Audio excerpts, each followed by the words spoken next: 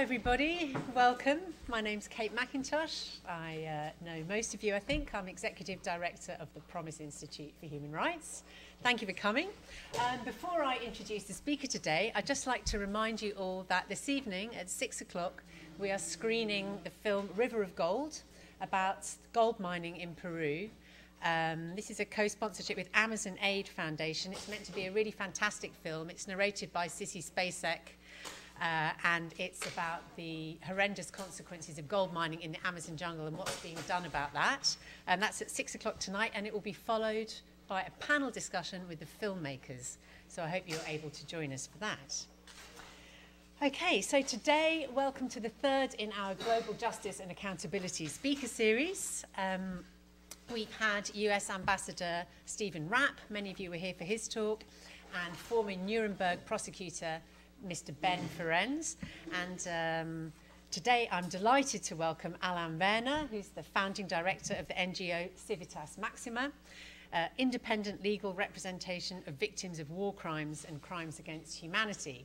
Uh, you'll see on the sheet, the tables in front of you, that we have a few more speakers in this series. And I'd just like to say, and I checked with Alain if I could mention this without undermining him, in case anyone's worried that we have a series of male presenters, we're hoping that Fatou Bensouda from the ICC will be able to add her picture to that soon.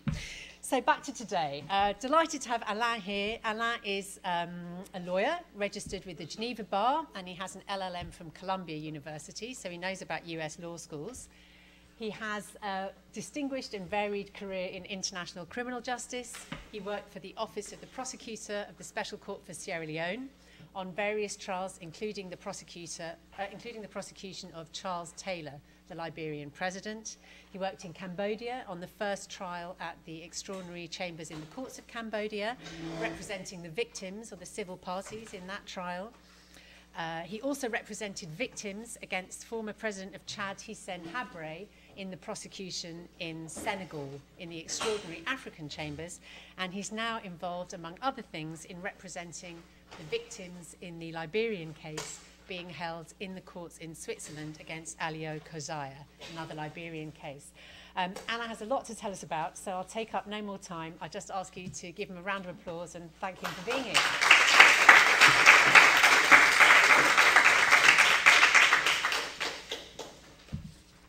All right. Thank you very much. I'm very, very happy um, to be here today.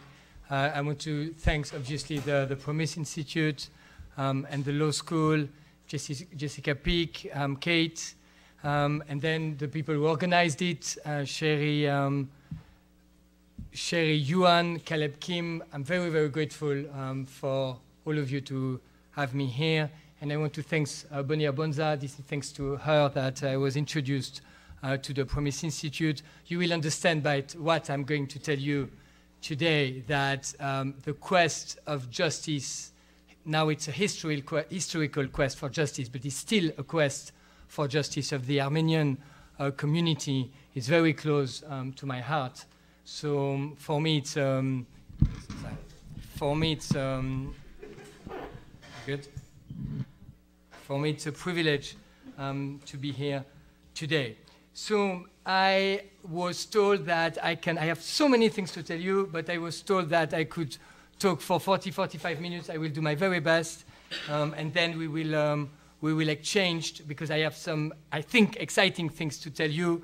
Um, and I would uh, very much uh, appreciate your feedback and for us to discuss. And I was given a very strict instruction to prioritize the questions of the students. So don't mind uh, when there will be, if hopefully there will be questions, then uh, the students, I was told, will have um, the priority. So here is the deal to start with. As a lawyer, as Kate said, I have been basically involved in prosecution uh, for war crimes all my life. I don't know to do anything else than basically putting cases um, for war crimes. And for now, uh, 15 years, I have been obsessed. And frankly, sometimes I wonder if this is a blessing or this is a curse. But this is a situation for me. I have been obsessed with one question, which is how to contribute somehow in our field in order for accountability to be more and more present. And there was a French biologist and philosopher that nobody knows about. His name is Jean Rostand. And this guy had at the time this quote he said, Kill one man and you are a murderer, kill millions of men and you are a conqueror, kill them all, kill them all and you are a god. And then on, in our field, from human rights lawyer representing victims, and I don't really know who did it, who transformed this quote, but someone transformed this quote, and basically we have this quote, which is, I think, coming from Jean Rostand, in which says, if you kill one person, you go to jail. If you kill ten, 10 people, then you go in an insane asylum. And if you kill uh, 10,000 people, then you are invited to a peace conference. and unfortunately, I think this is very true. And this is a situation today where statistically, if you kill in a war at a level of command or a level of political power 10,000 people, then I think statistically, very complicated word to pronounce for me, statistically, you are more, you have more chances not to go to jail than to go to jail. And this for me is unbearable. But this is the system today. And my obsession has been how to find a way how to create systems which can, could basically change that exact thing. So let me first, before I tell you how I think we can do that, let me first tell you what is the situation today. And this is a paradox, but the situation is not completely bleak in the sense that many things have been done by many people over the past years. And my aim here is not to tell you, let's get rid of everything which has been done and start all over again. Obviously, that would be a, a moment, a fundamental mistake. My aim here is to tell you, let's build up on everything which already exists and is working, but create a new way, a new system in order for accountability to step up and in order for at some point in the future, maybe when your great great children, me, I won't be there anymore, but your great great children will be there, than the guy who killed 10,000 people in the battlefield, then hopefully that guy will have more chance to be held accountable than not. So let's, let's quickly, for me, to tell you three things which are already happening, which are great news, and upon which we should build this system that I would like to propose to you, expose to you today.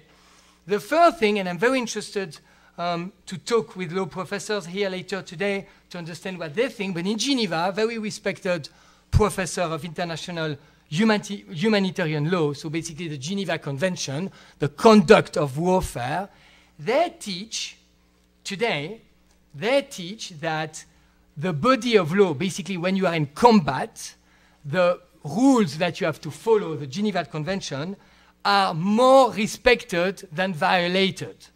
So, in fact, more often than not, and this is a paradox with what I just told you, more often than not, in combat, people respect the Geneva Convention. And the ICRC, so the, the, the International Red Cross, headquartered in Geneva, which is visiting almost a million prisoners of war every year, so they know something about respect or non respect of the Geneva Convention, they start now an online database on the ICRC website in order to show to people that indeed, many, many, many times, combatant commanders respect, do respect the Geneva Convention. And this is important because, in a way, if you have a law, the Geneva Convention, and nobody respects it, and we just commit war crimes all the time, why do we even talk about that body of law if there is no respect for it? But it looks like, indeed, more often than not, there is respect. And here is the very interesting thing, is that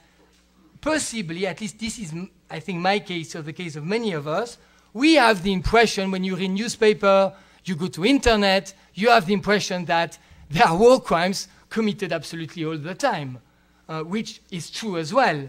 And the paradox here, of course, is that today we know about that. because today and for many years, and this is the second thing which is fantastic, for 30 or 40 years, you have great organizations starting in the 1970s, like Human Rights Watch, like Amnesty International, and other, who are telling us about the violation. So when violation happens, then we know about that. And before, of course, some centuries ago, we didn't know. A commander could kill 10,000 people, and nobody would know about that. But today we know. And of course, now for a few years, um, with, with, with the cell phones, with internet, victims groups as well are basically mobilizing.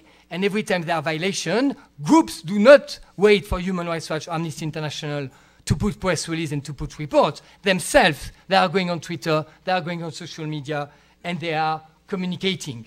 So there is a body of law which more often than not is respected, and when it's not, when there are international crimes, then we know about it. So these are the first two good news. And the third good news is that now, since um, 1990, and Kate was one of the very first to work then in The Hague, there was a new body of law with international courts, starting with um, uh, ICTY, of course, and then ICTR, and then since 2002, uh, the International Criminal Court. Roughly for 50 years, nothing happened, nothing happened after the World War II, uh, after Nuremberg because of the Cold War, and then when the Cold War was over, then this tribunal started to exist with a very important jurisprudence and very important cases. So you are going to tell me, but then what is the problem? we know about the crimes, there is a body of law that we, is respected more often than not, and then there are international tribunals. So why do, we, why do we bother? Why are you so obsessed about creating new systems? And here is the bad news after three good news, but it's a very big bad news. The bad news is that obviously, if you put things into perspectives, and last night, because I'm so jet lagged and I couldn't uh, sleep, as you probably can feel, then I went online to, do, to, to check a bit. And then since 1990, quickly, and this is not exhaustive, but just to give a feel, a sense, put things in perspective. So since 1990, since these, since these uh, interna international tribunals started, we had the Yugoslav war, obviously. We have the war in Liberia. We have the war in Sierra Leone. We have the invasion of Kuwait. We have the civil war, very bloody in Algeria. We have war in Chechnya, the second Congo war which was an absolute massive bloodshed. And then, of course, the Iraqi war, the war in Darfur, the war in Sri Lanka, um, the Syrian conflict, the Gaza war, and now the Rohingya. So this is just to give you, and of course, it's not because there is a war that war crimes have committed. Huh? It's not because you kill someone in combat. This is not a war crime. But we know by the NGOs that in every single of these wars that I told you about, there were very, very serious war crimes and crimes against humanity committed. So this is what happened since 1990. On the other side, which accountability did we get with the tribunals? And this is a fact from the um, ICTY, ICTR website. So ICTY, 89 people convicted, ICTR, 62 people convicted, ICC since 2002, uh, 8 people convicted, 2 people acquitted. So about 160 conviction from the three, bless you, from the three main um, international tribunals. Of course, there are other, but there were less convictions. So about 160 with an, I cannot even, I mean, nobody has a count on how many war crimes committed in all this war, but you have a sense that it's many, many, many, many, many, many. And on the other side, the international tribunals. And again, of course, I'm the first proponent of international tribunals. And of course, we should not get rid of international tribunals but we should invent other systems to complement because this is not enough. I mean, it's clear for everybody, and I don't think nobody is disputing that. This is just not enough. So other things need to be invented. And here is another good news. Something already exists. There is something else, and this is how uh, we function and many other NGOs. There is not only the international tribunals that you can use, but there is the national court. Okay, you can go in front of a national court in order, as a victim of international crimes, to get redress for war crimes. And the very big event, incredible event, which happened at some point and sort of was, was such an important event and, and made us, all of us, human rights lawyers, international criminal lawyers, realize that indeed this is something we could use and we should use to get justice on behalf of the victims. And we just, I think last week, Wednesday, we celebrated the 20th anniversary of that event. And this is, of course, the arrest in London, 17 October 1998, the arrest of Augusto Pinochet, former president of Chile, who was visiting always a controversy whether he was there for medical reasons or in fact he was there for arm deals, whatever. He was visiting London, and guess what? He was arrested based on a European arrest warrant coming from Spain requesting on behalf of victim the arrest of Augusto Pinochet following a 16, 16 month legal battle. Pinochet was in house arrest almost 500 days during that time. And frankly, nobody thought that something like this was indeed possible, but it was possible. And the world, or at least our, our field, knows very well about Baltasar Garzón, which was the judge who issued the arrest. But for me, of course, Baltasar Garzón is a hero, but for me, the very big hero is a lawyer who behind the scene was, was the one who filed the complaint, Juan Garces. And for me, Juan Garces is the definite hero of the Pinochet saga because for years and years and years, quietly waiting, Juan Garces was documenting all the torture and all the crime committed by uh, Pinochet, and he waited the right time, and at the right time, he filed the right complaint, and then that got Pinochet arrested. And this was really an astonishing event on our side. And suddenly we realized that for the victim war, for the, the victims of war crime we represent, it was not only going to international court, but we could use national court to get something like that. And in a way, and Kate mentioned it, the most beautiful legacy of the Pinochet case. So ultimately, Pinochet, because politics in a way took over and won at the end, uh, we won on the legal ground. He was supposed to be sent to Spain, except that there was a conservative, there was, there was um, conservative government in Spain. It would have been a complete mess to have a trial of Pinochet in Spain. You think about that. Spain, we never had justice for the victims of Franco, and suddenly there could have been a public trial of Pinochet in Madrid. I mean, this would have been something quite extraordinary. So politics took over over the law, and Jack Straw decided to uh, send uh, Pinochet because of medical reasons. And we all, or you may remember, this um, scene when Pinochet came back to Chile, and then he was supposed to be handicapped and cannot get out of the wheelchair, and as soon as he's in Chile, hop, out of the wheelchair, whatever. But the point is that this was, I think, very, very, very big on our side. And then uh, someone that I have a lot of respect uh, for him, he was my professor at Columbia uh, in 2002, um, an American lawyer called Reed Brody, working with Human Rights Watch, who was with Human Rights Watch involved in advocacy around the Pinochet case. So he was clever to think, okay, where is the next Pinochet? Now, where is the next Pinochet? Using exactly uh, that jurisprudence and using national laws. And this was a Hissène Habré case, incredible story of a dictator of Chad during 1980s who basically killed, I mean, historians disagree, but tens and tens of thousands of people.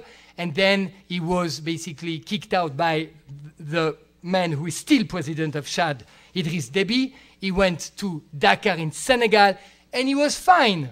Why not? He was fine because this was the way it was, it was happening. You had killed so many people, you go to another place where you are friends with the head of state, you marry his daughter, or you do whatever, you give a little bit of money, and you're fine. This was the world before. So Reed, understanding Pinochet, started to think, wait a minute, we are going after Habré in court in Dakar, and then was, it was possible as well to go to Belgium I would, could talk for hours about the, about the Habré case, but long story short, for 15 years, and this is a problem, is that this is outside the beaten track, this is outside politics. States did not want the Pinochet case, states did not, international community did not want the Habré case, so it's complicated, it's very complicated. So Reed Human Rights Watch with fantastic Chadian lawyers and as well Senegalese lawyers and some of us, we and Reed mainly the coalition managed to get finally after years and years and years and years of legal battle to get a trial of Hissène Habré in Dakar, which is really something absolutely incredible to get, uh, to get him in Dakar. And I can tell you I was part of that adventure. This happened in 2016. Hissène Habré was convicted on the 30th of May 2016, crimes against humanity, war crimes, torture, upheld in appeal in April 2017. This is extraordinary. This should never have happened. I mean, this was not the way politics work, and this is really the intervention of human rights lawyers with victims using the tools which are available and believing this is possible. So this is the legacy we have. We have this national court. Things are possible to do uh, in front of uh, those um, national court. And now this is part of the system. So the preamble of the International Criminal Court, uh, the Rome Statute, recognize that and said in the preamble, we're calling that it is the duty of every state to exercise its criminal jurisdiction over those responsible for international crimes. In other words, the International Tribunal and the one, the permanent one, the ICC, is telling the states, we, we as international court cannot do so much because it costs so much money, it's complicated. So you states, you have to do the work. You have to try people for war crimes in your country. And when we say you have to try people for war crimes in your country, we are not only talking about, let's say in the US, you have an American committing war crimes, obviously, well, normally, or let's say, America maybe is a bad example. Let's say in Switzerland, in Switzerland, you have a guy who committed war crimes. Let's say, I hope that he will be tried in Switzerland because he's Swiss. Okay, same way if he commits war crimes in Switzerland, which look unlikely, but he will be tried. But here I'm talking about what the laws allows to do. In other words, if if I if let's say Liberia, because I will tell you about Liberia in a second. I got arrested in Switzerland, 60 kilometers from my hometown, Geneva. In Lausanne, we got arrested a Liberian guy who was alleged to have committed war crime in Liberia against Liberian in Liberia. Is Liberian nothing to do with Switzerland? While he was in Switzerland re residing for 15 years, this was Switzerland's duty to go after him. So this is now the architecture that we have and which already, compared to 40 years ago, is a big progress. You have international courts, and then you have national courts, and these national courts, they have the duty to go after the people in their soil who have committed international crimes. That's what they are supposed to do. And then you have lots of NGOs which are doing a very good job in several countries to build cases so they know about someone somewhere and they get evidence and they bring to this war crime court. So in all these mainly European countries, but elsewhere as well, you have what was created after the Rome Statute and the ICC war crime court. So specialized units which are their only job is to build these cases. So NGOs, you have ECCHR in Berlin, Trial in Switzerland, you have Redress in London, you have a great one in San Francisco, CJA, Center of Justice and Accountability, with whom uh, we partner on the case. Great organization uh, working on civil case uh, here in the US. So organization use this national court to bring these cases, and this is a very, very great progress. Okay? Now, so this is what is going on today. Okay? But as you understood, by what I'm trying to tell you, I think this is still very unsatisfactory.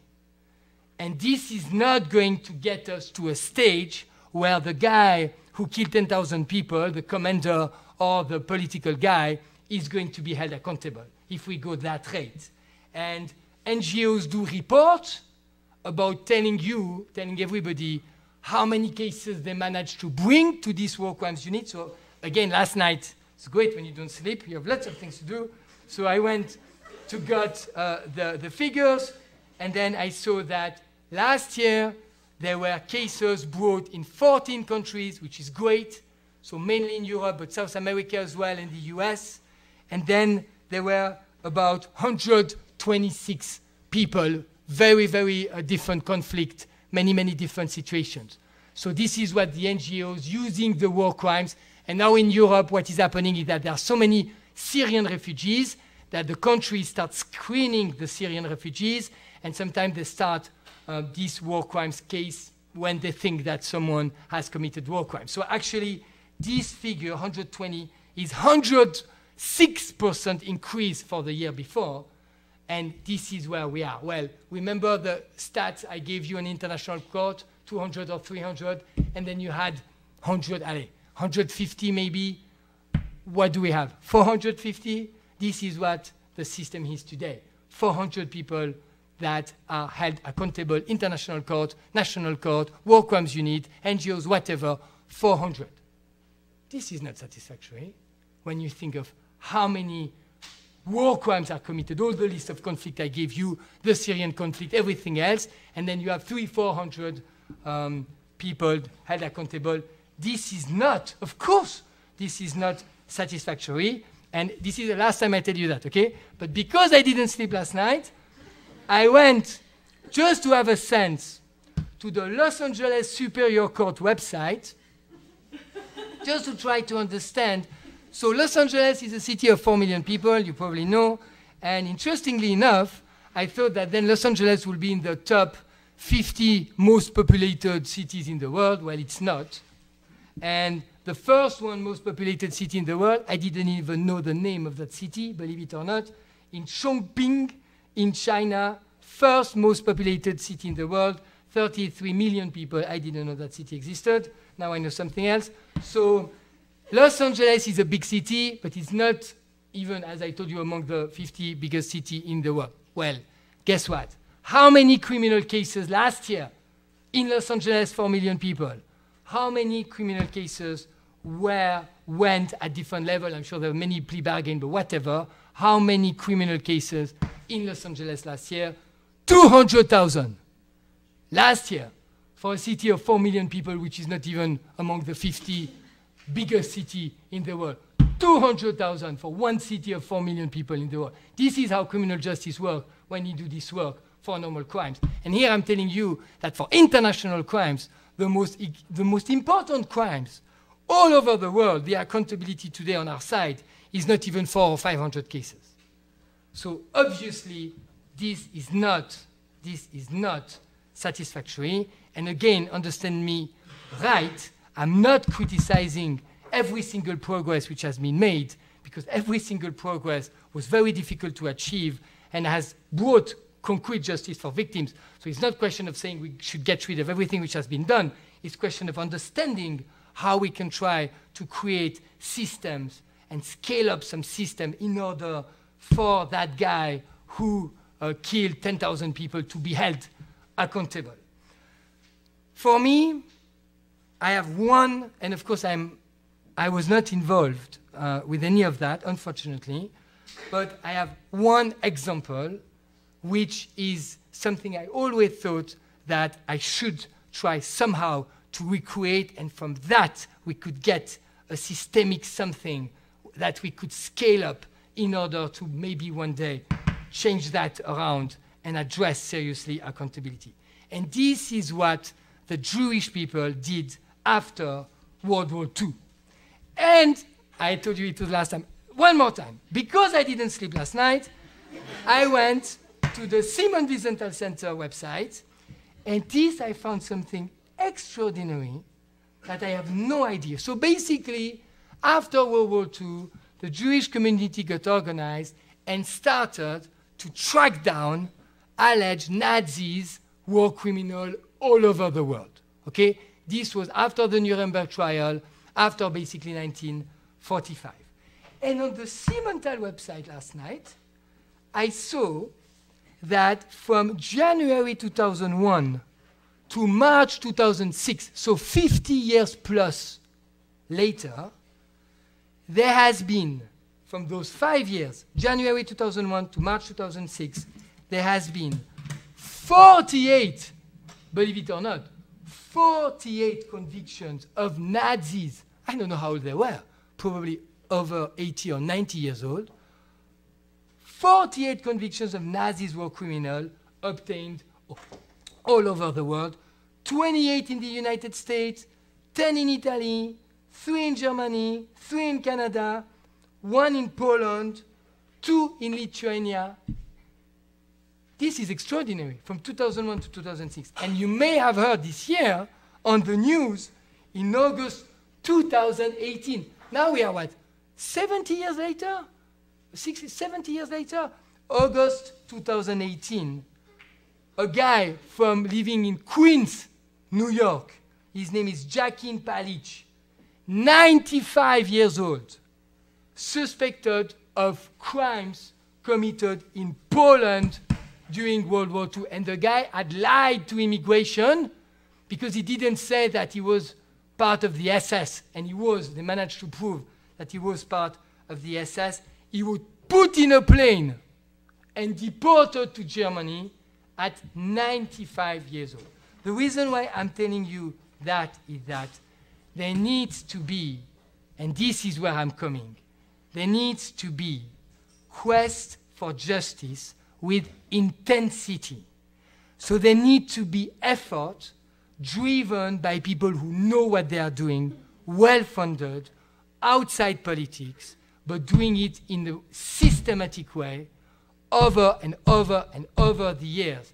And this is the Jewish community who did it. And they get results which are almost comparable to the, what the entire world is doing for all the crimes. They just do it 60 years later, still tracking down the Nazi still living. And again, I told you that me, I was not uh, part of uh, part of that effort, but I was part of an effort where war was a bit, I mean, a conflict with some similarity, and Kate mentioned it, and this is in Phnom Penh in 2009 when I was representing uh, victims of the Khmer Rouge, um, uh, the, the, Khmer Rouge atrocities in the 70s, genocide. Um, what happened there, the, there was a similarity between the Nazis and the Khmer Rouge. Why? Because both of them, they were documenting everything. So all the other were documenting, all the list, all the structure, everything was documented, everything was on paper. But for the Khmer Rouge, which happened from 1975 to 1979, until early 1990s, there has been no effort to clean, to save the documentation. And it's an American law school, not this one, but another one, Yale Law School, which partnered with an, uh, an NGO in Phnom Penh, DCCAM, Documentation Center of Cambodia. And in the early 1990s, they cleaned up the confession, the, every, all the material, the picture, all the chart, the comment structure, they cleaned up, they saved it. And because they did that and they work with Khmer organization, NGOs in Phnom Penh, then we could have tribunals. And me, I was there. I was working for DCCAM, representing their victims. And this is how, in my head, it clicked. Again, it could have clicked just by reading what I told you about the Nazis' hunt, but I was not associated with it. So me, it clicked in 2009 in Phnom Penh. And I thought, this is the way. How? We have the way to do it. It's by documenting, because this is how you get your evidence, and working with people who are people of the country where the crimes were committed. This is the way to do it. And of course, if you think about the Nazis, or if you think about the Khmer Rouge, you can win trials just by the documentation. I don't think for the guy of Queens that they sent back, they could prove he was a SS by calling guards who were with him. Because the guy was 98. So probably not many people are alive, but they probably had documentation. And the, the trial where I was involved, the S21 trial, the concentration camp in Phnom Penh, we had it was important to have victims and to have all of that, but we could have had no victims because we had documents. Okay? Now, in the war in Liberia, Sierra Leone, for example, where I was involved for the prosecution, you don't have orders. Many, many wars, now it's different with cell phone and all of that, but in the 90s, many wars were fought. You didn't have, and commanders were young, and some of them were not educated, and you didn't have many orders. So how do you prove your cases? Well, it's by talking to witnesses. But witnesses die out of malaria sometimes early, so you need to preserve the evidence. This is how it clicked in my head in 2009 when I was in Phnom Penh.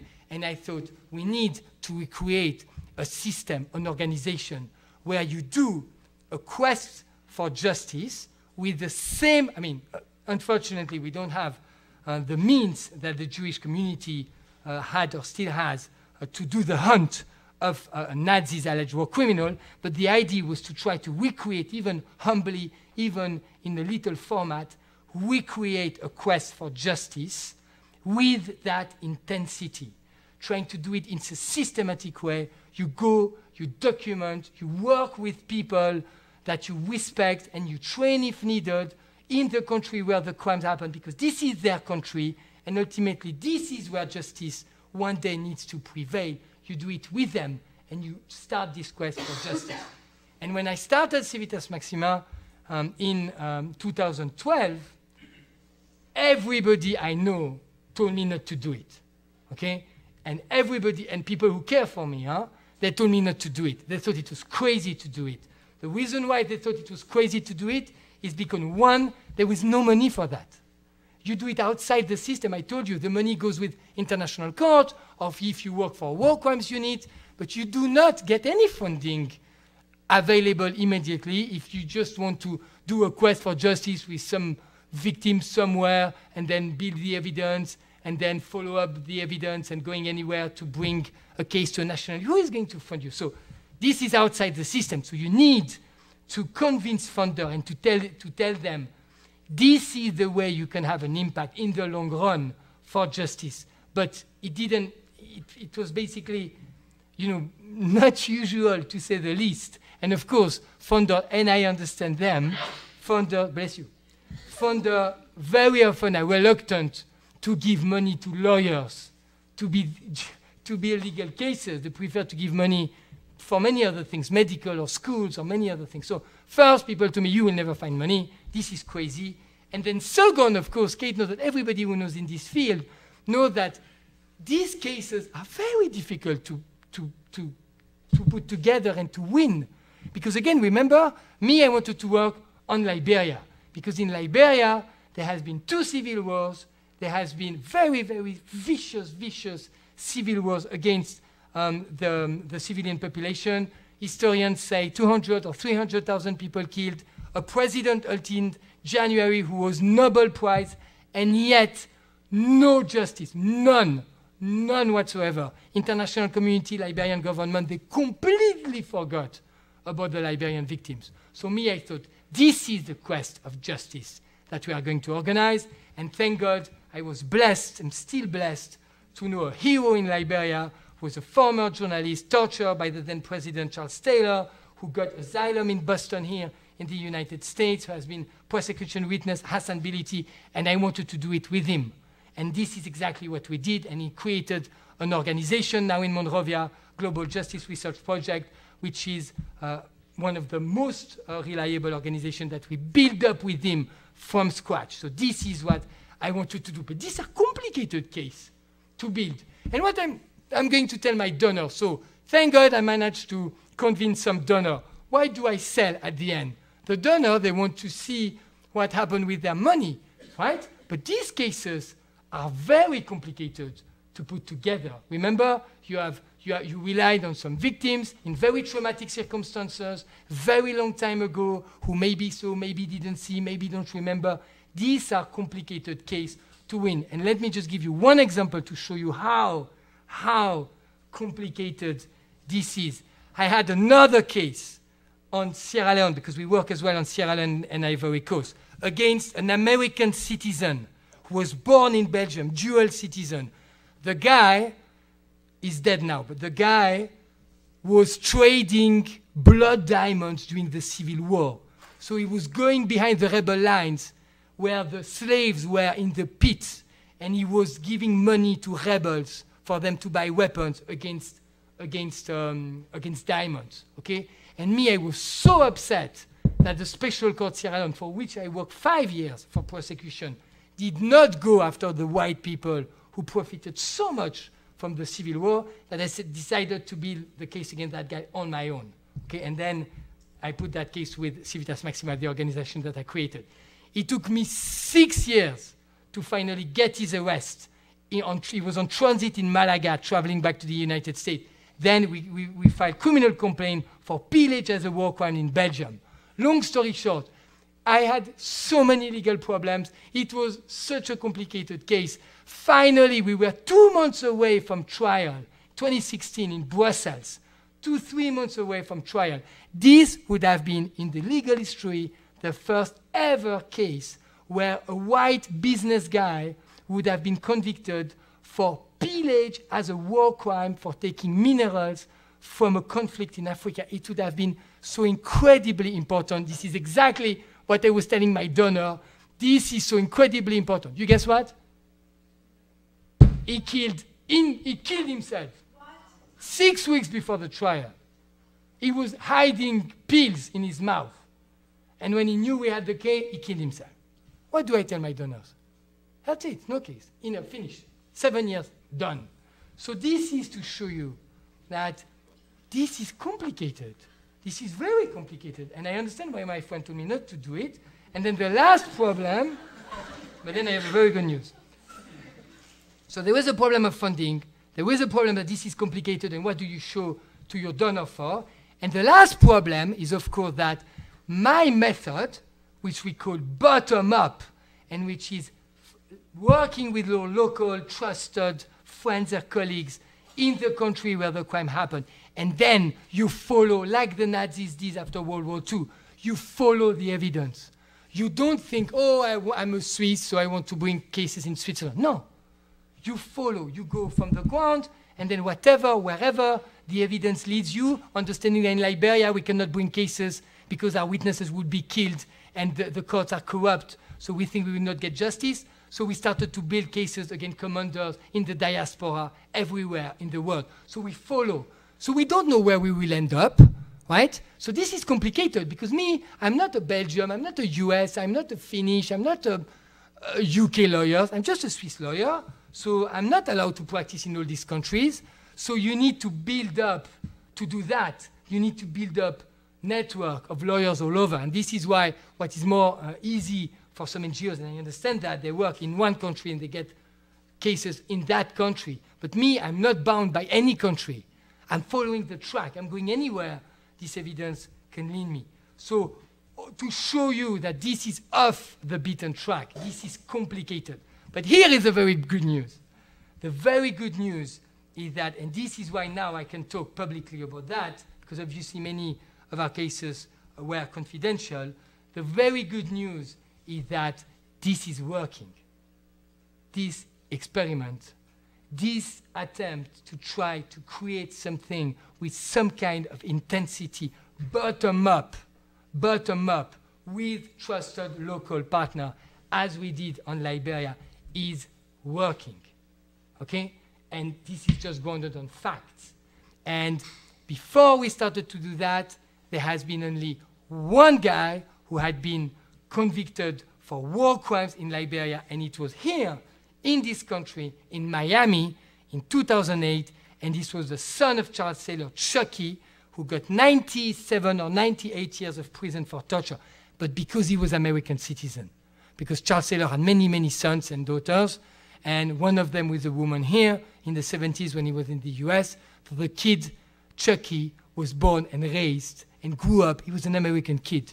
And he had a very bad idea, very bad idea, to when he was 17 or 18, to go back.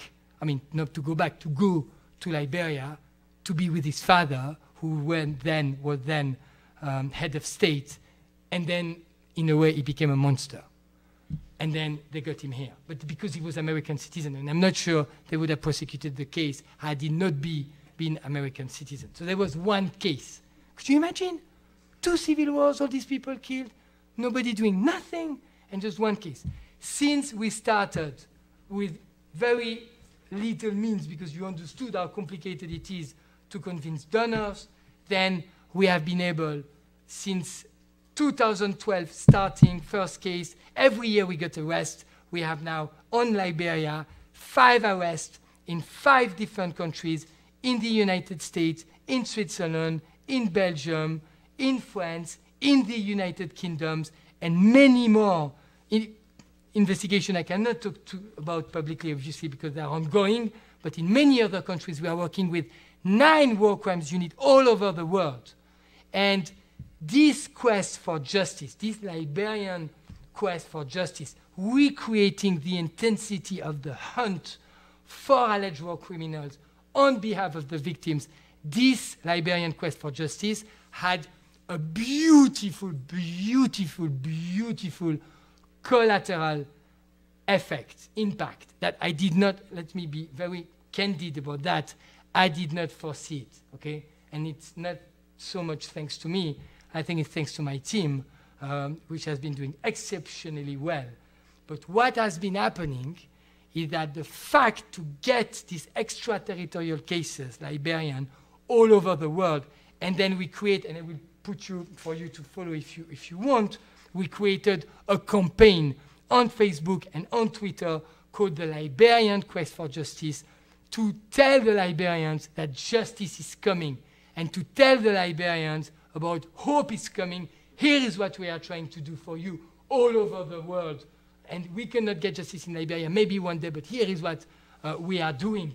And then this Liberian quest for justice has absolutely fire up, fire up Liberian organization which were waiting for something like that to happen in order to be able to mobilize, to ask for justice in Monrovia. And now we are collaborating with cartoonists, with videos, with theater group. We are collaborating with a fantastic group in New York of journalists. And Joanna Devane here is in the room working in Liberia with them, with someone who is fantastic called Prue Clark, a journalist from Australia who created a group called New Narrative, working with Liberian journalists to train them, get them out of the corrupt system where politicians just pay them to write articles. So Prue has been working with the Liberian and Joanna many times has been in, uh, in Liberia as country director for Prue. And then with them, we send these Liberian journalists to follow the trial for the Liberian journalists themselves to see this justice going on and then talk in the talk show, talk in Monrovia, in the newspaper. So it has had an immense impact in Liberia. And now the hope is that this quest for Liberians' quest for justice, obviously all these legal cases will still be ongoing, but the hope is that then we will manage to turn around impunity in Liberia with civil society, because this is their country at the end, obviously. So they know best. So they need to take responsibility exactly how they are doing now and turn impunity around in Liberia. So this system, with very limited means, this system, I believe, is working. I'm almost on track with the time. Yeah, yeah. I still have two minutes? Yeah. So, to conclude, I think there was two ways here. One way is to keep going. Bless you. One way is to keep going, okay? And as I told you, there is a system in place, things are happening, not everything is to, to be thrown out of the window. Bless you. Obviously not. And you know, if we if we just keep going like that, then you know there will always be some kind of justice for the victim somewhere, and maybe the stats will improve a bit, and at some point we will have, I don't know, 100, 500, 600, whatever, but it will not change the situation. Bless you. It will not change the situation, and the situation is that we are failing, by and large, we are failing the victims of mass crimes when they should be the first one protected. We are failing them, and we just get some cases, and again, it's a lot of work behind every single case, so I'm not diminishing all the effort, But I'm just saying that as a system, then this does not work. And that's fine. I mean, many things do not work. So we could say, okay, but fine, it does not work. Or, or we now manage to scale up somehow, and then instead of have one Liberian quest for justice with that intensity, remembering the intensity you need in order to, to, to create and do this uh, quest for justice, then we start creating tens, fifty, hundreds, five hundred, thousands quests for justice with groups organized, victims organized, with international lawyers who know what they're doing, outside politics, and then we follow the evidence. And this could, I think, create a systemic change. Because what would happen then is that these war crimes units are just, they're fine. They're taking the little case coming from NGOs. It's not much. And they, you know, and they, they justify their, their functioning. That's fine. But if suddenly you have all these quests for justice coming with credible cases, all these groups all over, there is a word I love in English, which is so complicated to pronounce for me, and this is exactly what we need here, and this is relent relentlessness. right? And last night, I went to look up what relentlessness means. And relentlessness is such a complicated and beautiful word in English. And it means unwillingness to relent, unwillingness to let up. This is exactly what you need. You need quest for justice by groups all over the world focusing on one situation, following the trap, bottom up, flooding war crimes unit with good cases everywhere. And this, with this relentlessness, and I think this could get, in the years to come, this systemic change we are looking for. And if we manage, probably I won't be there anymore, but if we manage to do that, then that guy who killed 10,000 people, then that guy, I think, he will have statistically, he will have a better, a more chance to be held accountable than not. Thank you very much.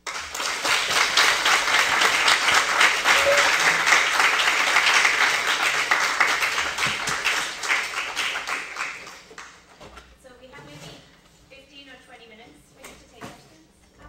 Yes. And if you don't have questions, I can keep talking, no problem. Sorry, student, come to you. Hi, uh, my name is Lena. I'm a 1L here. I was wondering when we, you were talking about that quote in the beginning about it, you killed 10,000 people, you did American Peace Conference. What do you think are the forces that are creating that culture of kind of turning a blind eye to heinous crimes? Okay, thank you for your question.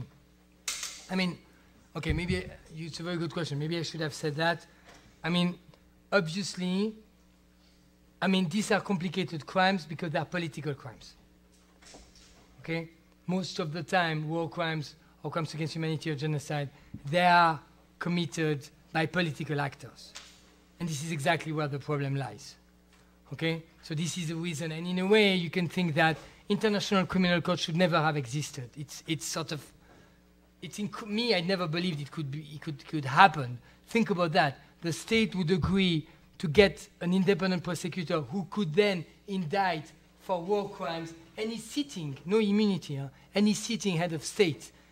This is not what you learn first year, I guess, here about international relations. This is not the way things go. So this was an extraordinary event, and in a way, the fact that politics is, you know, somehow making sure that it takes care of its own interest is no surprise to anybody. So the short answer to your question is that these are, these, these are political crimes. Yes, sir. Yes, sir. Okay, so we talked about Africa and we talked about places where there is transparency of communication that people come to know about things. Now, I do know in places like China, for example, that there are two million people suffering right now, which are in very, very bad conditions. So how would you go after countries like China, for example? Right. Okay. Thank you for your question. So I should have said that as well. Um, I am not naive. Okay. Um, and I should have said that. Uh, thanks for your question. The I think it's true to say that the Liberian quest of justice has worked so well, so quickly, with so many results uh, in a way, because Liberia is not a very big economic actor. Okay, so when I go to wherever I go to meet prosecutors all over the world with my cases, I was never told, well, um, the foreign affairs or my ambassador there, uh, they interfere because they think that there could be economic, um, you know, trade problem, whatever. So it is absolutely true that if you start organizing quest for justice on China, on the US, on many, many countries which are big economic players, then you would have many more problems. This is a fact, okay? And for example, to give you an example, but there are many others, in the United Kingdoms now, and we have a case, the, another um, wife of Charles Taylor will be tried in, in Old Bailey. If any of you are in London in the coming month next year, will be very important. Uh, this is one of our cases, a torture case against a former um, wife of Charles Taylor, who was a lecturer in a university in the UK, and we got arrested by Scotland Yard. So they took my case, but when a Chinese or whatever, when someone with big interest is coming to London and an NGO group wants to file a complaint, what the UK does now is that they grant those people special immunity. Could you believe that? And, and groups have been challenging that in High Court in London. We lost, I mean, we, on our side, it was, it, we lost, in, maybe it will go to the High Court, but this is what is happening. Because, they, of course, they protect their interest. So if there is someone with whom they want to do trade and is coming with a bad human rights record in London to talk business, and the human rights community know about that and want to file a complaint, they give him a special immunity. This is unbelievable. So, I mean, I'm not naive. It's absolutely true that if you start organizing quest for justice on countries where there will be interest, it's going to be much more complicated. This is just real politics. But I do not think that this should prevent us. And the groups with whom we are talking would want to do anything, want to do things. But I think this is right to say that, you know, we had that success because I was never blocked because of economic interest. Yes, sir. Um, first of all, Are you a student? yes, I. Okay, so you can ask me. Um, first of all, thank you very much. This was fascinating. Um, my question is, um, in in a model like this one, where we're focusing primarily on the national courts, um, what do you think that the proper role of the international courts should be? I'm listening to you um, because I was under instruction of my staff to put you if you want to follow. Can I, can I answer to you and write at the same time? Absolutely, yeah. Okay, so the answer is that um, so the complementarity principle basically says that basically, as I told you, should be up to states to do the work. Okay, and then what is in the Rome Statute is that is if states are unwilling or unable to take the cases, then the ICC should take the cases. And then there is jurisprudence, and obviously, because then the question is, what does unwilling mean? What does unable mean? But I think that Liberia, on, on, on, on our cases, Liberia war ended in 2003, so almost all of the Liberia war would be outside the jurisdiction of the ICC starting 2002. But if it, even if it was not, if a country is interested in taking a case, well, depending on the case, but I would be, I don't know what, what Kate would think, but I would be surprised if the ICC say, oh, no, no, no, we want to take that case. I think ICC would be quite happy for the National Court to take up the case. Uh, we will have to see. But basically, what complementarity means is that the countries should take the cases because, let's face it, they have the best capacities. And then, um, if they are unwilling or unable, then the, uh, the ICC will step up. Yes? This is similar to that question, but you emphasize the need to go outside of politics and outside of the current system. Is it possible to reform the current system to make it more effective? Yes, so, so this is exactly what I think that, I mean, I do not have a solution outside the national court or the international court. Of course, there are human rights mechanisms, you, you can think of many things, but I want criminal justice for the victim I represent. I mean, it needs to be through, I mean, I cannot adjudicate myself, right? So at the end of the day, this is going to be through the courts Okay? Now, I think what needs to change is the way that the victims are organizing themselves and, as I said, uh, mobilizing in order to build credible cases. Because what we hear, if you go to seminars or whatever conference from war crimes unit, they will tell you many times it's just politics. So an advocacy group from anywhere will file a complaint with basically very little fact just because they want, you know, they want, they want to say that this minister from that country is coming and he's a monster and they want to file a cheap complaint and get one day publicity. You know, of course this exists and this is a problem in our, on our, in our field, is that, you know, we cannot prevent any lawyers filing any complaints on behalf of any victims just for political reasons with no facts.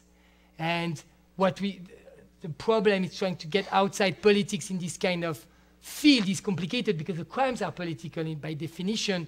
So I think to be credible, if then you go that way or you go that way, but to be credible, you need to be at least seen as not political. And then your, your facts, your case needs to be grounded in facts, not just doing that because of, you know, because if you want to try to empower that government or that government. This is what is complicated. So for me, the way is professionalization of, on the NGO side, of the community uh, victims group, and then um, doing that professionally. And it's complicated because sometimes you tell victims that you need to wait a long time for the evidence to be collected well before you go. You know, it takes time, it's complicated, and they want to go and they want the publicity. So all of that is complicated. But I think that the way by, by, by putting intensity in that quest and, and doing it more and more, I think this is the way to go. I mean, frankly, I mean, this is what I'm very happy to debate with you. If you have another way, I would be very happy to, uh, because I'm really obsessed about these things. So if you have another way,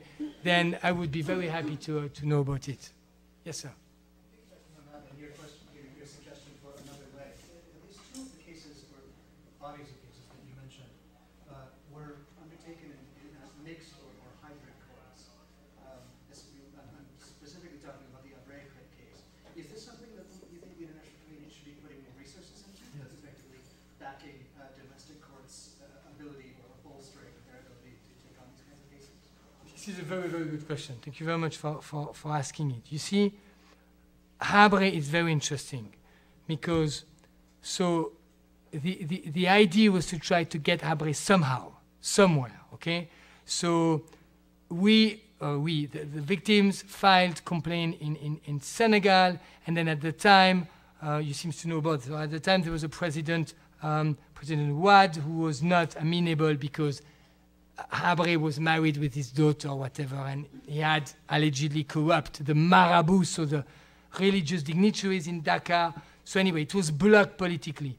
And then when the current president uh, won the election, um, Macky Sall, then the situation changed. To answer your question, at some point, I think on our side, we didn't care so much if at the end he was going to be tried in a Senegalese regular court or if the African Union, because what happened, I forgot to say that, the African Union at some point really did so well to embarrass the government and the Belgium wanted a case. And of course, it was impossible for an African government to send an, an, a, for, an, I mean, a former colleague, um, former president to Belgium. Could you imagine with the, with the story of Leopold and the colonization of Congo? You would have sent Habre to be tried in Europe. It, would, it was never they would have done that. So they were looking for something. And the African Union came and said, okay, we give mandate from the African Union and we created this African, how is it called? African Extraordinary Chamber. Fine, within the, the, the, the um, within, within, so all of us, we had to see the Bâtonnier of Dakar to be admitted within, you know, the Bâtonnier of Dakar in order to plead. They're fine, we would have done anything. So answer to your question is, if that is the way at some point, it at some point on one situation, the way is an hybrid somewhere. Take Liberia. I mean, Liberian courts will not have the means, and I don't think Liberia, I don't know if anyone is from Liberia here, but, oh yeah, so, so you, should, you should talk about that. I don't think Liberia would be very happy when the country is really struggling economically to pay for the court. I think if there is a court in Liberia, possibly we will be looking for a donor elsewhere, then if that way for donor they want to set up an extraordinary Liberian chamber within the court of Liberia, backed by the African Union, fantastic, I would say. You know, I mean, this is, I think it's a very good question, and I think that on, uh, this is what Reed really uh, taught me, is that anyway, anyway, I mean, you go anyway, you're flexible, and then you just find a way. So yes, absolutely, it can absolutely be an hybrid. Of course, now we can talk about the ECCC and all the complexity of the ECCC, where, you know, the government is so complicated in Phnom Penh, and now we, we are wondering what, you know, if it's, they are using the ECCC more than the other way, but yes. Okay, I will try to finish. So Facebook up, and then I really want to give you this beautiful Liberian Quest for Justice. So share that as much as you can, anywhere you can, and then I just give you the Twitter, and we are done.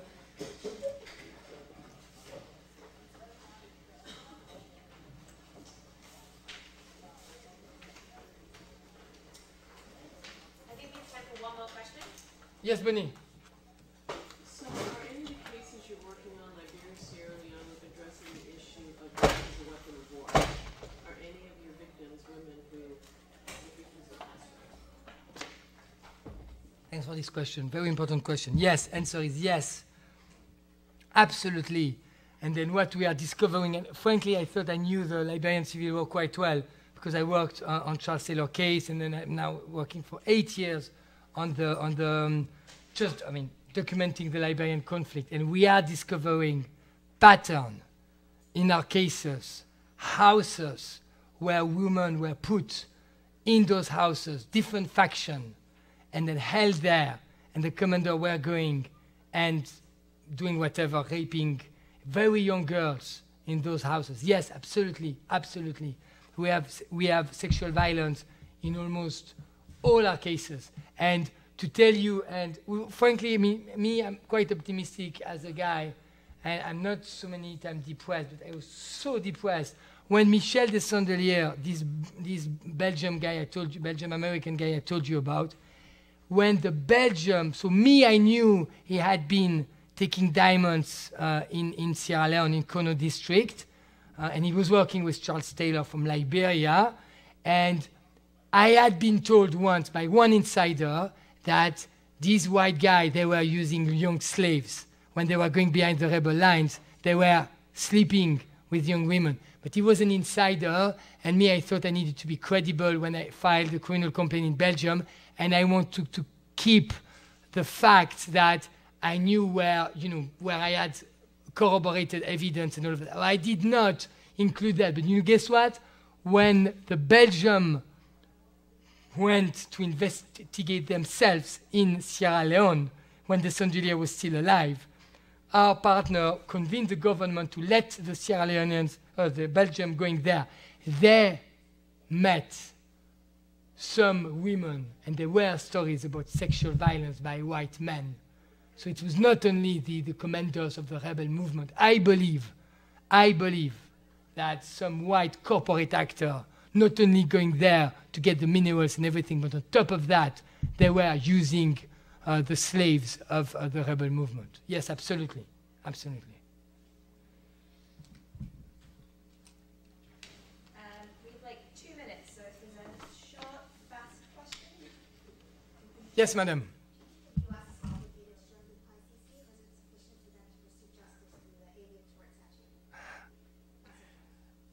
No, I mean, what I know is that the US will never join the ICC, even under President Obama. So, uh, of course not. They are trying to destroy it just like fast.